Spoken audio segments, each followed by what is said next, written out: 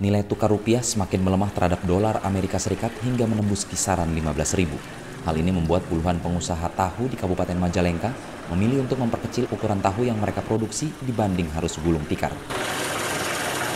Dampak nilai tukar rupiah yang terus melemah hingga tembus angka Rp15.000 per dolarnya berdampak pada para pengusaha tahu di Kabupaten Majalengka. Harga kacang kedelai yang biasanya dibeli seharga Rp7.000 hingga Rp7.500 per kilogramnya saat ini mencapai Rp8.000. Untuk mensiasati hal tersebut dan menghindari kebangkrutan, para pengusaha tahu di Kabupaten Majalengka memperkecil ukuran tahu yang biasa dicetak menjadi 90 buah saat ini dari 100. Ya, akibat kondisi kacang naik, ya diusahakan kalau misalkan menaikkan harga memang bisa ya, tapi secaranya cara tahu di perkecil perkecil gitu.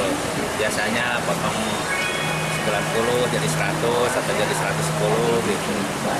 Terus harga kedelai sendiri gimana Pak sekarang? Kedelai kedelai sekarang harganya ya uh, biasanya kan 72, 73, 74 sekarang sampai 8.000 85 8.000 oh, 8 per kilo iya per kilo